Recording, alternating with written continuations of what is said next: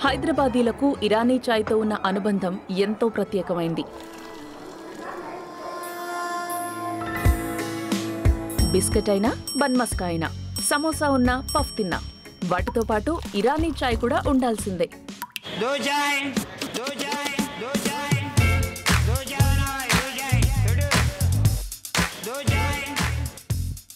very special for Hyderabad. This kind of tea you will not find in, in the whole world. I've been to New Zealand, Australia, US, many countries for the work purpose.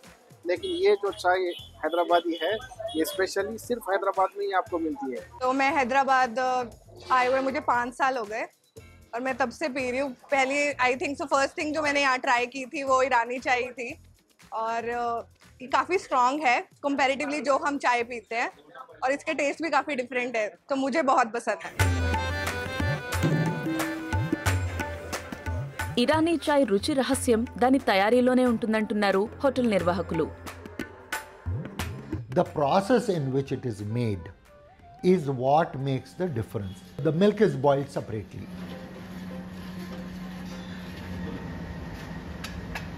The tea dust is boiled separately. That is when you extract the entire strength of the tea. And once that is done, it is moved to another container which is called the samovar, and the filtered decoction is added in a proportion of 60% decoction, 40% milk. That was originally the module of making the tea. Hyderabad సహా ముంబై పూణేల్లో ఇరానీ చాయ్ popular అయింది Iran నుంచి హైదరాబాద్కు ఇదెలా వచ్చిందో చరిత్రకారులు చెప్పారు జనరల్గా నైన్టీన్ థర్టీ నైన్టీన్ ఫార్టీ మధ్యలో ఇరాన్ నుంచి చాలామంది ఎంటర్ప్రెనర్స్ ముందు బాంబే అండ్ పూనాకి వచ్చారు. అక్కడ పూనాలో వాళ్ళు మిలిటరీ ఏరియాలో బ్రిటిష్ మిలిటరీ కంటోన్మెంట్స్కి ఈ ఒక ఎక్స్పెరిమెంటేషన్గా స్టార్ట్ అయింది. యాక్చువల్గా బిజినెస్గా లేదు. అంటే ఇప్పుడు మిలిటరీ ఏరియాలో ఎక్సర్సైజెస్ జరిగేది. ఎక్సర్సైజ్ జరిగినప్పుడు వాళ్ళు ఇన్ఛార్జు మా వాళ్ళకి కొంచెం ఏదో స్ఫూర్తి ఇచ్చే ఎనర్జీ ఇచ్చే ఏదైనా చేసి పెట్టండి అంటే వాళ్ళు అప్పుడు వాళ్ళ టీ పొద్దున్నే మన ఎక్సర్సైజ్ చేసే మిలిటరీ వాళ్ళకి ఇచ్చేవాళ్ళు. అట్లా వాళ్ళు అక్కడ నుంచి పూనా నుంచి మళ్ళీ హైదరాబాద్ మిడ్ నైన్టీన్ థర్టీస్లో వచ్చి ఇక్కడ కూడా స్టార్ట్ చేశారు హైదరాబాద్ ఆర్మీ కోసము. తర్వాత చిన్న చిన్న లొకాలిటీస్లో ఇరానీ చాయ్ అవుట్లెట్స్ లాగా స్టార్ట్ చేశారు వాళ్ళు. పర్షియన్ భాషకు నిజాం పాలనలో ప్రాముఖ్యం దక్కడంతో ఇక్కడి ప్రజలకు ఇరానియన్లు దగ్గరయ్యారని చరిత్రకారులు చెబుతున్నారు. వాటి పేర్లే రిలీజియన్ తోటి సంబంధం లేకుండా ఉంటాయి. రీజన్ తోటి సంబంధం లేకుండా ఉంటాయి పేర్లు. అల్ఫా హోటల్ అల్ఫా అంటే ఇది గ్రీకు దేవత పారడైజ్ హోటల్. అట్లానే హోటల్ తాష్కెంట్ అట్లానే hotel Panchsheela hotel Rajarani garden hotel సెక్యులరిజానికి Hyderabad Irani hotels symbols. అయితే హైదరాబాద్లో ఇరానీ క్యాఫేలు క్రమంగా తగ్గిపోతున్నాయి. ఐదు దశాబ్దాల కిందట హైదరాబాద్లో ఇరానియన్లు నడిపే క్యాఫేలు దాదాపు నాలుగు వందల యాభై ఉండేవని ఇప్పుడు వాటి సంఖ్య నూట ఇరవై ఐదుకు తగ్గిపోయిందని జలీల్ ఫరూక్ రూస్ చెప్పారు.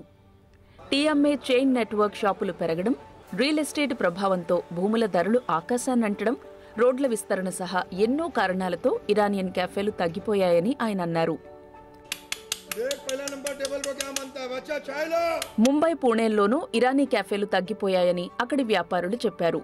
పంతొమ్మిది వందల యాభై అరవై సమయంలో ముంబైలో దాదాపు ఐదు వందల యాభై ఇరానీ క్యాఫేలుండగా ఇప్పుడు వాటి సంఖ్య నలభైకు తగ్గిపోయిందని ముంబైలోని ప్రముఖ బ్రిటానియా రెస్టారెంట్ నిర్వాహకులు అఫ్సిన్ కోహినూర్ బీబీసీకి చెప్పారు.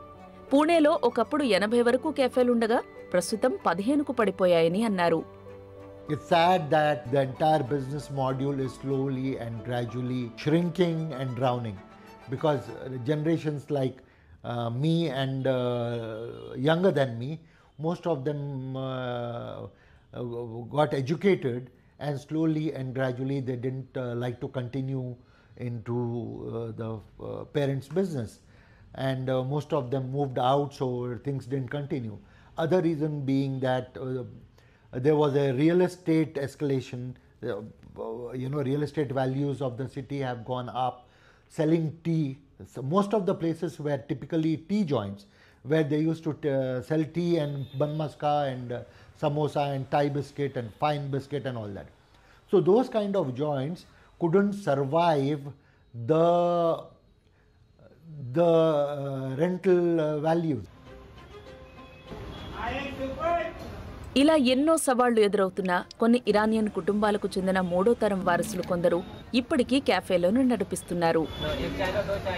Family business is basically your choice you either join it you either self something but keeping brand which is years old you can't choose to go business towards yourself. Rather than building yourself towards your business, gives a business representation, gives yourself a pride that you're maintaining and keeping the legacy on its mark. Basically, I've done engineering. I use my skills towards my branding, towards my creation, towards the products, towards the designing part, product design. I use towards that.